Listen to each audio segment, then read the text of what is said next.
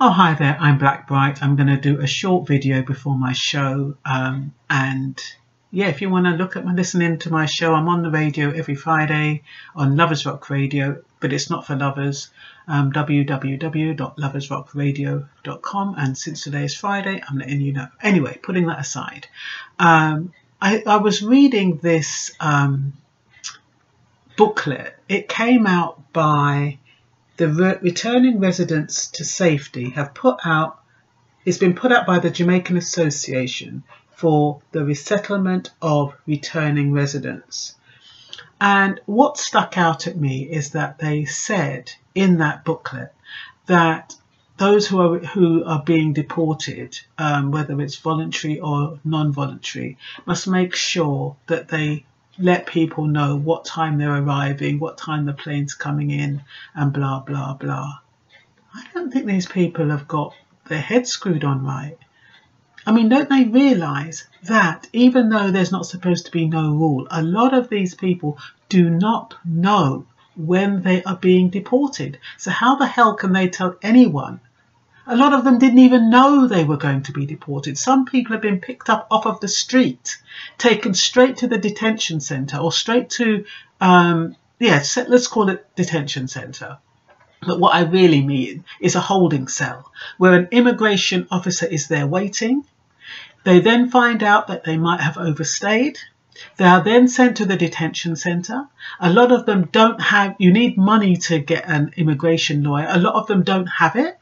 So then what happens is they're stuck in there. They're told three days, oh, you're going to be deported any time after this. They don't have an opportunity to notify anyone. So how the hell are they going to be able to tell anyone what time they're going to come on a plane?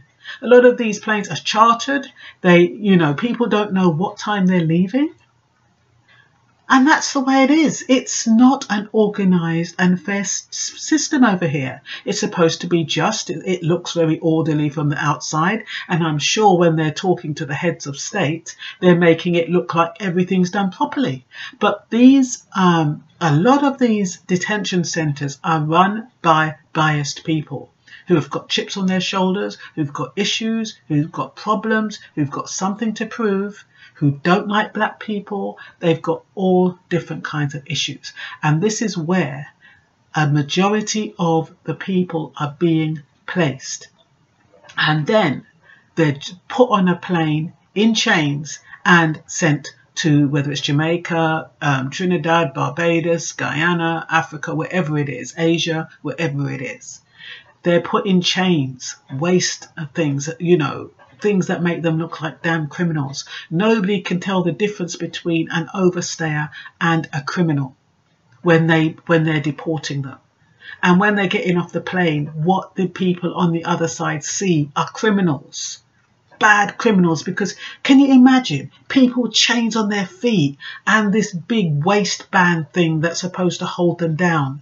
Anybody would think that they were menacing.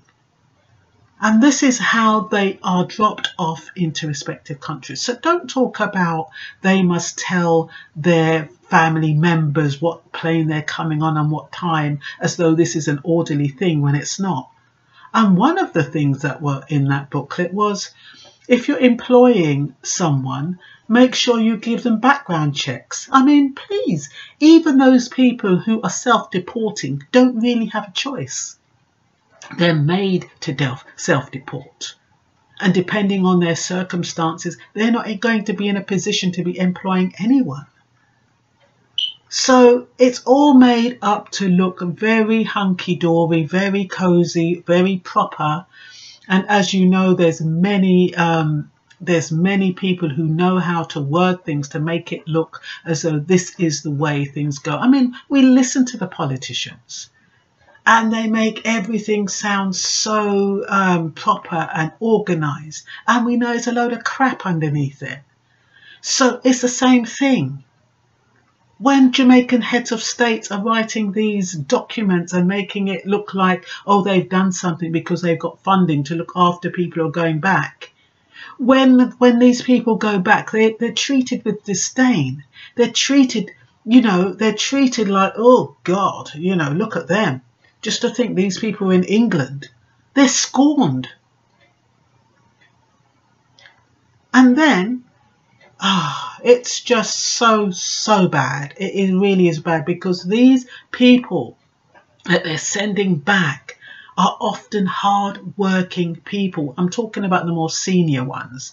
And maybe some of the young ones um, have been in trouble. I, I don't know. I'm not really thinking about the young ones so much. I'm talking about the elderly and the senior people who have worked all their lives, who've paid national insurance, who've paid taxes.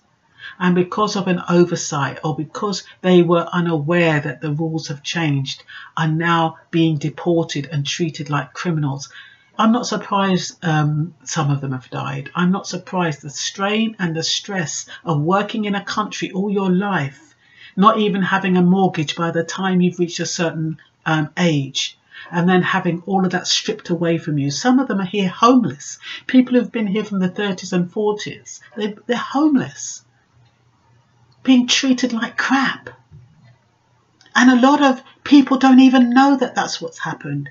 And you see with um, England, it's not like Jamaica where everybody's close knit and you know what the neighbour is doing. I know that okay, my I have a habit with my daughter that I have to speak to her maybe once a week, and then with WhatsApp you can see whether or not there are um, picking up messages, and you can tell that way that somebody is alive and well and in you know in sync with everybody else. But for the elderly people who are not that way inclined who are not who are not using WhatsApp and stuff, they can disappear off the face of the earth and nobody knows unless they have a close knit family. I mean, my mother is so blessed and fortunate. She, I don't think a day goes by when she doesn't have visitors. But not everybody is that fortunate. You've got people whose wives have died or whose husbands have died and they're left in the house by themselves and they're just soldiering on. They're going out to work, they're paying their bills and they're doing whatever they need to do. Some of them, for whatever reason, sometimes young people, if, if you speak to them too tough, they, they discard you. So nobody knows what's happening to a lot of people.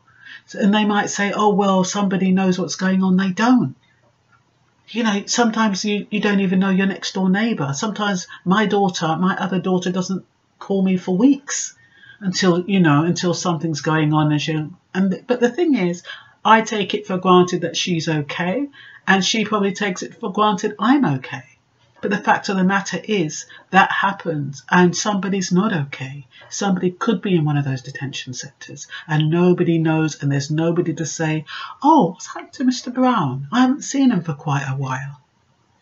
So please don't be too hard on people who are deported or who they claim self-deport because self-deport is just another word for blackmail.